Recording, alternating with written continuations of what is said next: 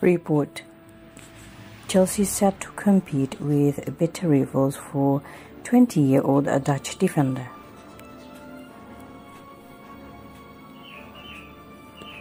According to Football.London, Chelsea are in contention with Tottenham Hotspur to sign Jurriën Timber from Ajax. The 20-year-old Timber had been on the radar for Spurs this summer, but the North London club went on to sign Emerson Royal from Barcelona on deadline day. However, the report suggests that Chelsea have also joined the race to sign Timber from Ajax.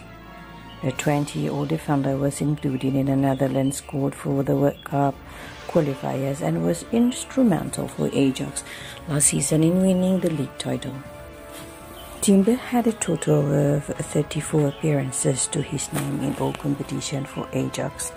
Last campaign, he also featured in Euros 2020 for the Netherlands, who crashed out of the tournament in the round of 16 by the Czech Republic.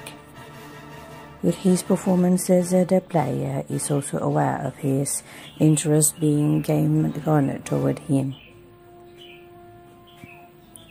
The Blues hired to tie Antonio Rudiger on a new contract, and they have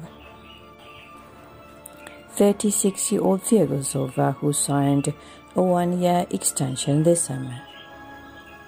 In order to make up the potential loss of their defensive players, the Blues have seemingly started considering options for next summer and will be keeping a close eye on the Dutch central defender.